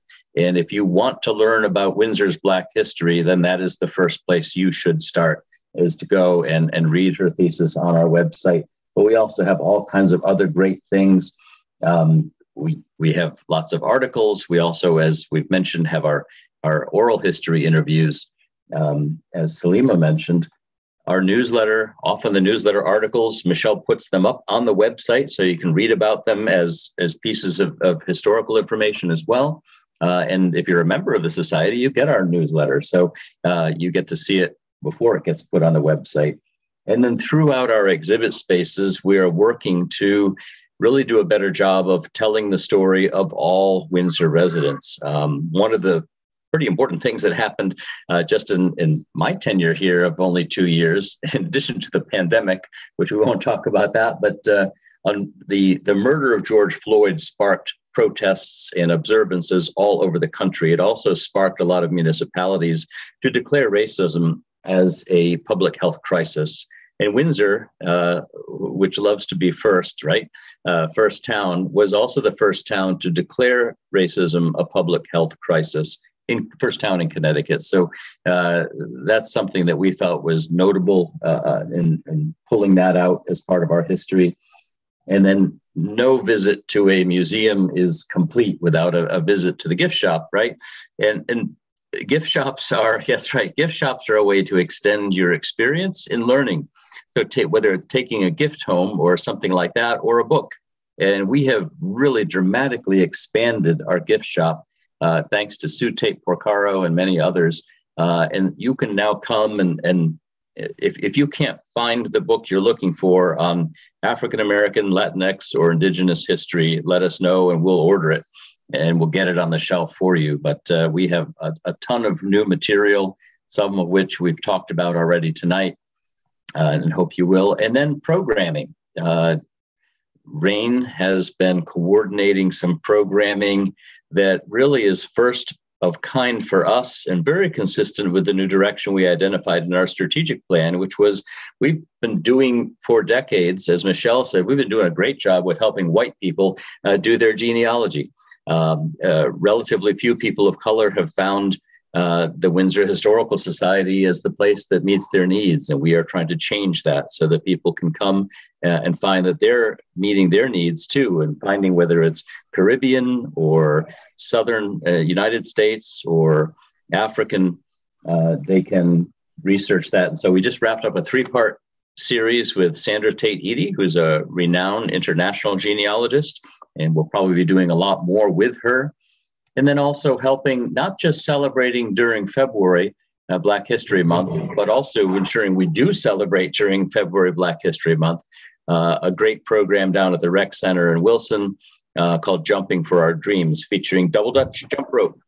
Uh, and uh, that was a, a, cool program and got a lot of participation and really highlighted an aspect of African American culture that uh, people don't always think about.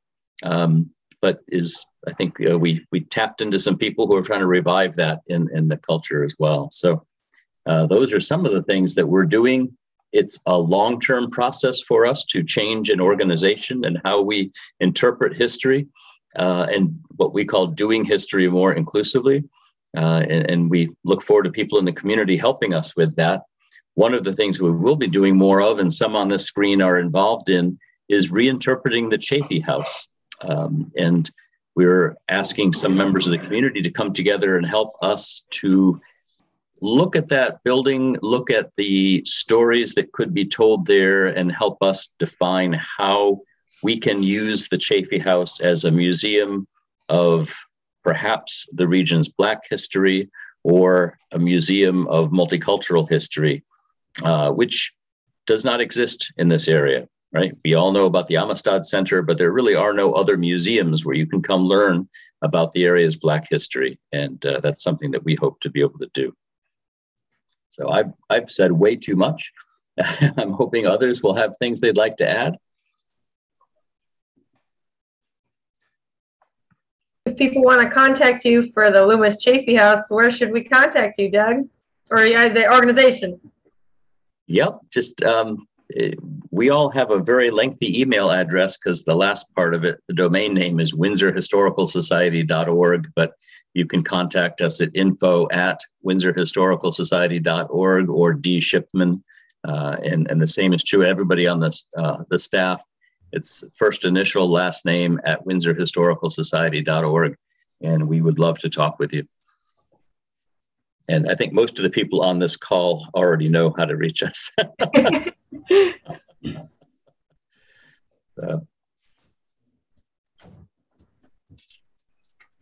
Well, I, I did want to say, um, Doug, if you could go back up to the to the photos. Um, I'm I'm the 2D person, as as Kristen said. Photos fall under my uh, purview, so um, so I love them, and I have been, you know, uh, focusing a lot of my efforts on uh, digitizing a lot of our of our uh, our print photo collections. These are all colorized again, by the way, computer magic. Um, uh, I just I just sort of put them up there to show sort of a diversity of, of uh, different kinds of um, life in Windsor. Uh, you know that uh, we have uh, in terms of photographic evidence from the early 20th century.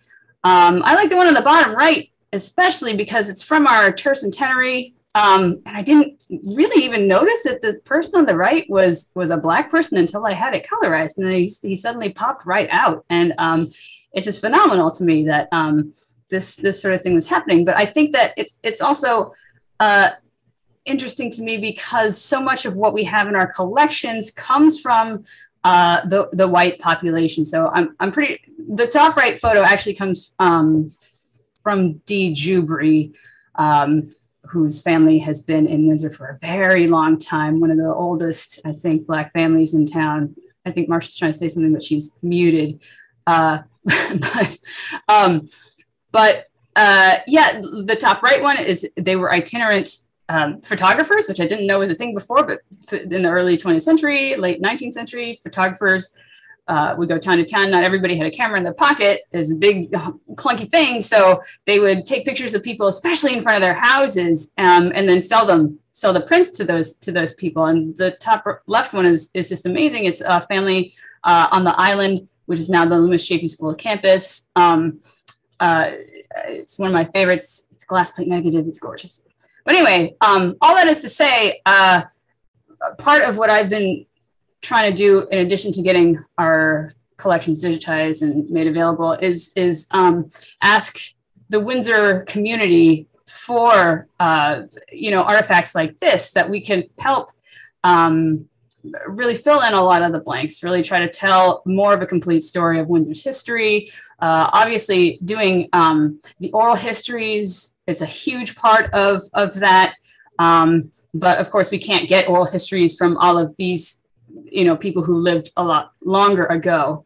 So that's that's part of my goal is to try to help with um, from the collection side of it, get more of these kinds of materials that can help us with our interpretation of, of Windsor's history.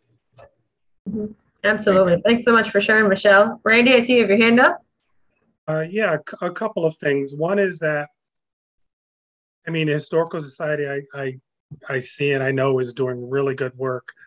And I just wanted to, to, to maybe just to say, even just for myself, is that what the Historical Society is doing is not what the town is doing. And I think that's separate. So I couldn't tell you today what the town is doing about race and diversity. Um, I'm not sure. Um, other than the council approving a um, you know, a, uh, a statement about racism being a public health history, I mean, a public health issue. I can't say what the town has done since then. So I just want to point out that we're doing, I think we're doing really good work here and we're reaching out to all the parts of Windsor, but that's not the same as the town doing it. So to me, something that needs to, we need to keep in our, in the back of our mind is what are we doing to either pull the town along with us or push the town um, because these these things are not the same. And i think someone said earlier about you know they had a friend and they weren't looking for somebody to apologize to black people. I don't think anybody is. I think what we're looking for is acknowledgement of what's happened and what continues to happen. I think that's really important.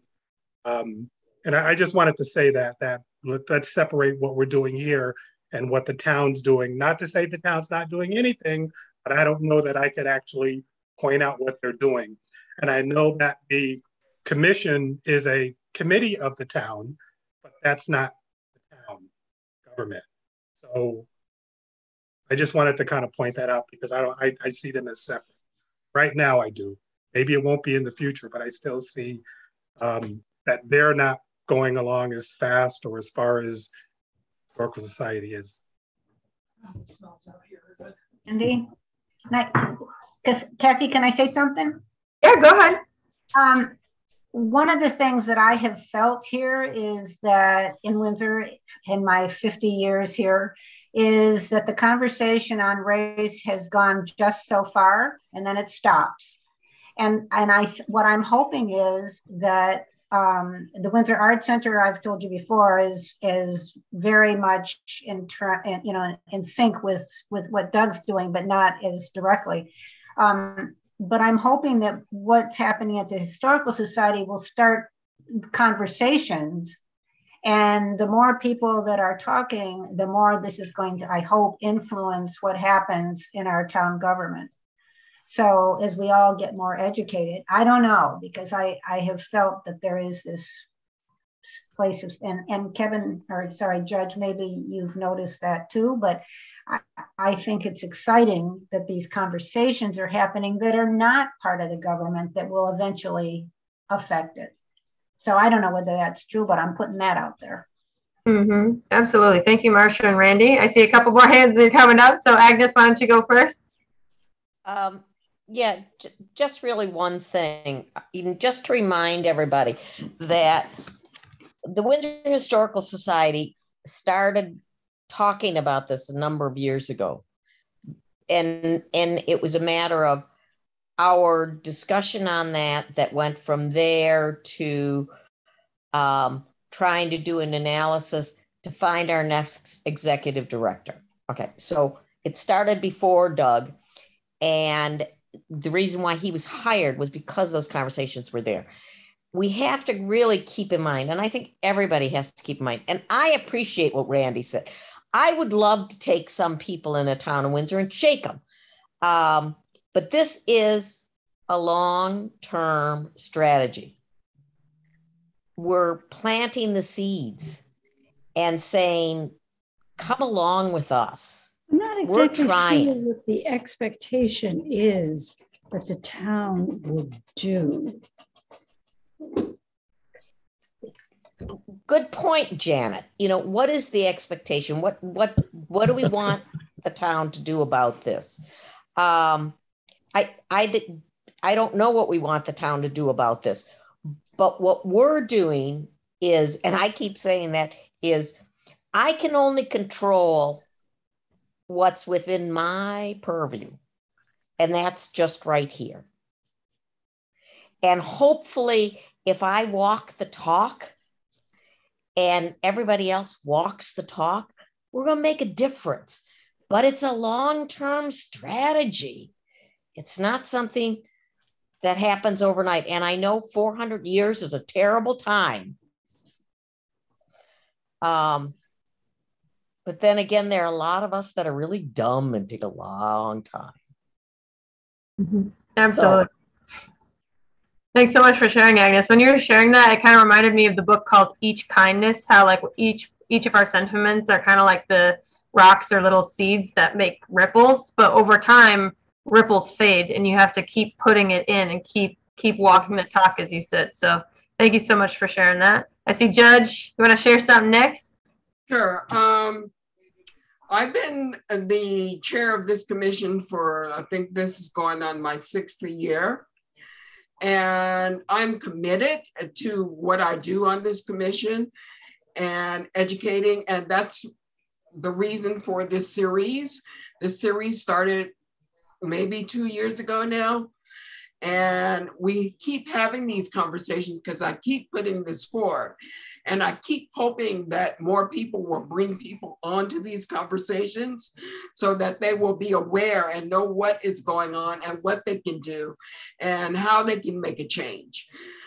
Uh, it is vitally important in my soul that just like someone said, you know, I can only control what's in my purview.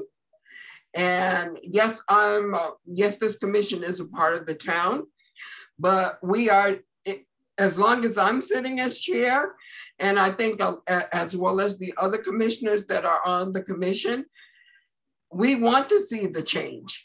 And we mm-hmm. are the reason for the change. And we're putting that forward to the community, but they need to be instructed on where to go for guidance because a lot of people are not aware of where they need to go to read a book or to learn about history from the Windsor Historical Society. We are a diverse community, but yes, we have a lot of problems. And I've had this discussion with Pastor Nicole. I've had this discussion with Marcia. I've had a limited discussion with, with Doug about this. And it's, it's a lot of work and there are a lot of tentacles to this work. So as I promised this year, I, I want to be more diverse in my programming because the only way that we can learn about each other is we participate. And the more, the better way we can do that is that the people on this call can inform people on the next about the next event that is coming up, whether it's the Human Relations Commission, the Windsor Historical Society, the Windsor Arts Center, or whatever, First Church, uh, Grace Church, Archer Memorial, you have to get involved if you want to make a change. And people will not follow unless you give them something to, to follow. So we are the people that are leading this fight. And people like Nuchette Black Burke and, and, and Jody Terranova and Lisa Bess and you know all these people combined, we can only lead so many people because there are so many tentacles to this fight. And I'll shut up now. Thank you for sharing, Judge. Those are some powerful sentiments. Um, I know I saw Rain. Did you want to share real quick, and then we'll go to Nuchette? I just thanks. I just I put my hand down because I think that Judge just answered the question, but just to put it out there that I was thinking like, what are the specific issues that um, Randy, because I feel like it's a, a very real um, question that you or observation that you put out there. You feel like you have a place to share your your thoughts or your concerns where your voice is being heard. Um, whether it's with this, you said the historical society is doing a good job, but beyond there, do you feel like there are spaces for the town, someone like you, to be able to share your concerns? And do you feel heard in any spaces beyond the spaces that are, are like identified here or or in this meeting basically? Do you feel like you have a place where you can share and do you feel like you're being heard? This is for judge washington and anyone else who feels that there are things about this town that are not you know in accordance to where we want it to be. There's lots is randy still around go ahead randy um yeah, yes, I do. I mean, for instance, I attend the Board of Education meetings, right? My kids are out of school, but I have grandkids that go because it's important.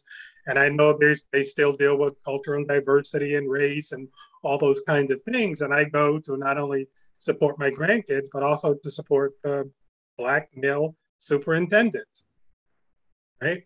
So I do those things and it's and I'm saying these things not because I don't know where to go and you know I don't know how to get I can pick up a phone call and I can get to who I need to get to but if we're doing this as a gut the the council I mean I don't know how many of you attend town council meetings you know or board of ed meetings those things are really important to know what's going on um, and if you know, I, I see Nuchette's there, but I, but in all the times that we've had that uh, the judges had these kinds of meetings, I could probably count on one hand the number of council people who've attended any of these things. So other than almost a pre-selected group, who else is hearing? Who's reporting all the kinds, you know, the great things that we're doing um, through the historical society? And you know, it, it's just I know but I think that unless we connect it to the community, how will we ever make change?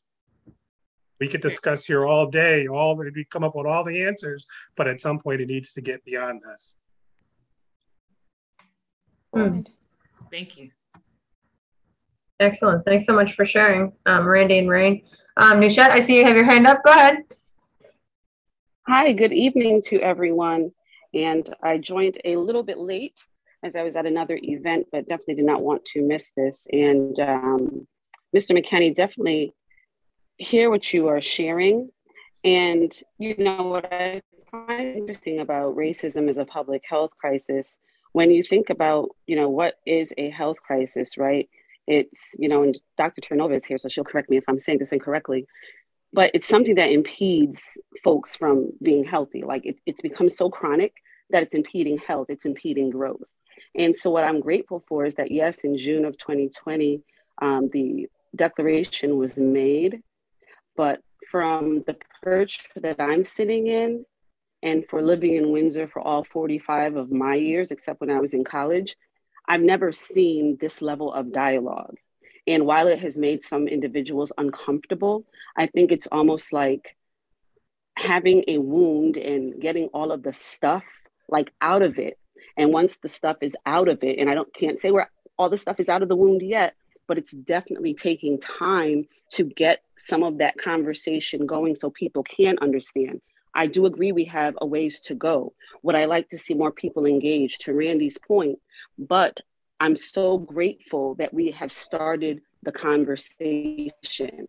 And I also um, caution folks that the declaration was not something and across the state. We've had this conversation with other towns.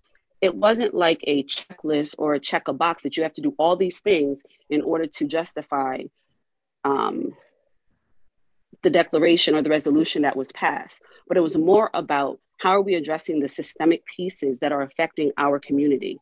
So for me, that is the next step. How are we really dismantling some of those systemic pieces that are here amidst our wonderful Windsor? And so by having these types of conversations, the Historical Society, um, myself and Dr. Terranova and Deputy Mayor Bress on the town council, we are constantly trying to ensure that conversations are happening so folks can continue to learn and address the chronic piece that's here as far as racism racism is concerned. So just wanted to add that piece that I'm grateful that we're here because for 45 years of living in this town, I don't recall us having such candid conversations about things like racism or even race. So just wanted to add that piece. Judge Washington, like you said, I'll be quiet now, but thank you everyone and definitely have enjoyed the dialogue. Absolutely. Thanks so much for sharing, Nuchette. Anyone else have any um, comments or things that they would like to add? I just want to say real quickly, Cassie, uh, I really appreciate Nuchette joining us tonight. Uh, she is one of the uh, public uh, leaders that has agreed to be on our uh, exploratory committee for the Chaffee House uh, and look forward to getting that process started and, and hearing all the things people have because I think historical societies in any town can really be the embodiment of civic pride if they're done well uh, and can also stimulate, you know, help to stimulate some of the conversations that need to be had about our history, uh, you know, long ago as well as as not that long ago. And so we hope that as the historical society, we could be part of the solution uh, and and not be part of the problem as we move forward. Mm-hmm. Absolutely. Thank you so much, Doug. Um, Agnes, I see your hands up. Go ahead. Yeah, I just want to make one comment. Um, that's what I said the last time. Um, the one thing that that has struck me more than anything else, uh, not that I I haven't believed in this from before and engaged in it, but after Doug came and he had the oral history thing with Tim. Now I've known the Curtises going all the way back to when my John was involved in town council and blah, blah, blah, blah, blah, all that kind of stuff. Um, but the one thing that Tim, and the reason why we moved here was because of the diversity. And the one thing Tim said to Doug that I think I'd love to see Jody and Nuchette take back to the town council was the last comment that he said which was Windsor is wonderful. And it is. We love it. You know, we love it. We love this town. I'm here because I want to be here and not in 80 degree weather. Um,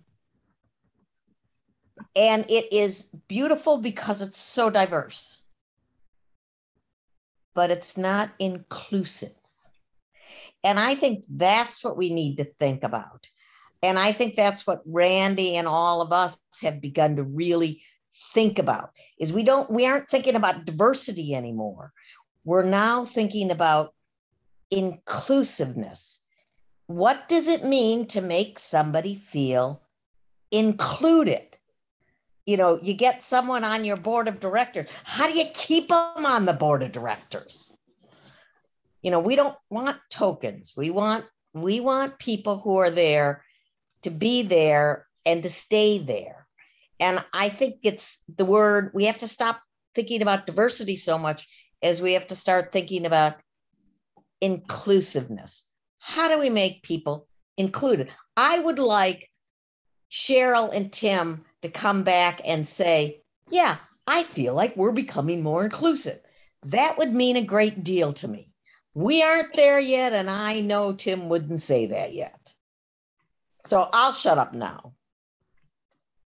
Awesome. Thanks so much for sharing, Agnes. When you were sharing that, it just reminds me that like there there's kind of and just from my perspective, there's like it comes in trifolds, kind of like there's diversity, equity, and inclusion. We've gotten to the first stage, like and like everyone's been saying here, it's like it's a marathon. So we got for one part, we're still working as a community together on these other parts. And again, these are not, it's not a short sprint, it's a long marathon. We're like, we got 40, 40 minutes in and we still have like a long, long ways to go. But I appreciate everyone's um, comments and share outs. Um, I'm now going to turn it on over to Judge for um, some additional information. Go ahead.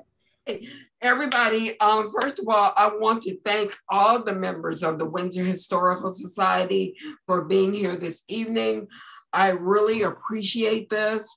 I hope we can continue this dialogue as well as Windsor's Black History. I would welcome a part two of this if you all are willing.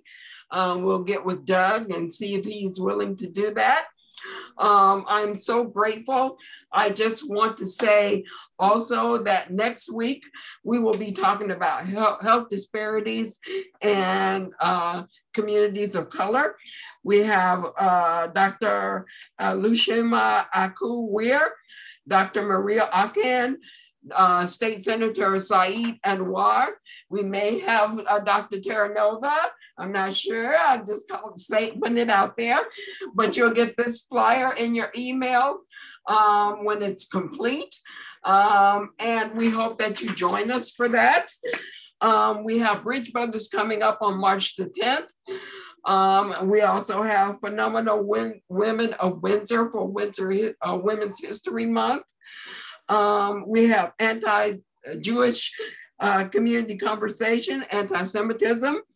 Uh, we're talking with Lewis about presenting voting rights. Um, so we're getting around. We have intersections on rape, and of course, we wouldn't be HRC without Juneteenth. It's coming. And we're partnering with our sister town, Bloom, uh, Bloomfield, with on that. So this year will be extra special. It'll be a bi-city celebration. So I hope you'll stay tuned for that. I think Cassie has something to say about our webpage. Oh, yes, on our webpage. I'm going to pop it in the chat. Um, so if you would like to have a copy of our recordings from this event or previous events, feel free to um, check it out. Um, you can go to the Town of Windsor webpage and then click on Community Development, and then you'll see Human Relations Commission. So everything is documented there. Um, you can see the start of our conversation from 2020 all the way up to present day. So if you want to catch yourself up on some amazing com- previous conversations, um, feel free to do so. Um, and thank you, Judge, for um, all that you do as well. I just want to shout you out because I know you do a lot. So thank you. Well, I thank you too, Cassie, my new vice chair. I just love you. I just love you. Um, so I just want to say thank you once again for everybody being here. I hope you will tell people about these conversations and share with people. And I hope you will join us next week for our discussion on health disparities and communities of color. Please join us. I got to go watch Housewives of Atlanta. So I will see you all later. Bye.